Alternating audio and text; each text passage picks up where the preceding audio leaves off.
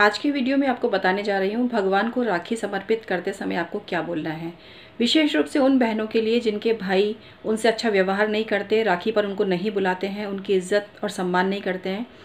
इसके अलावा ऐसी बहनें जिनके भाई नहीं हैं तो आप किसी भी इष्ट देव को राखी अर्पित करिए, भगवान श्री गणपति को, श्री राम जी को, कृष्ण जी को, या जिस, किसी भी धर्म के आप हैं, अगर आपके यहाँ जो भी विधान है, उस तरह से आप भगवान को, परमात्मा को अपनी राखी अर्पित करिए।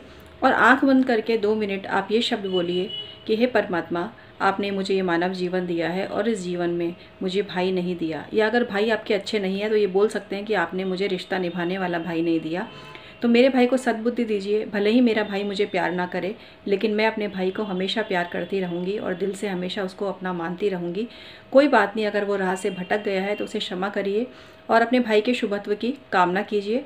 इसके बाद आपको क्या करना है कि आपको सबसे ज़्यादा भगवान को जब राखी आप अर्पित करेंगे तो उनसे एक रिश्ता जोड़िए, उनको ये बोलिए कि अब आप ही मेरे भाई हैं और जीवन के हर क्षेत्र में जब एक बहन को अपने भाई की आवश्यकता पड़ती है, तब तब मैं आपका स्मरण करूँगी। हे प्रभु, जब भी मैं आपका स्मरण करूँ, आप मेरे समकक्ष समकक्ष आएँ और मुझे हर विपदा से बचाएँ और मुझे ये एहसास कराएँ कि मैं इस संसार में बिना भाई के नहीं हूँ।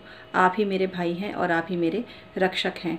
तो इस तरह से आप विनती कीजिएगा तो परमात्मा हर मौके पर आपके साथ होंगे।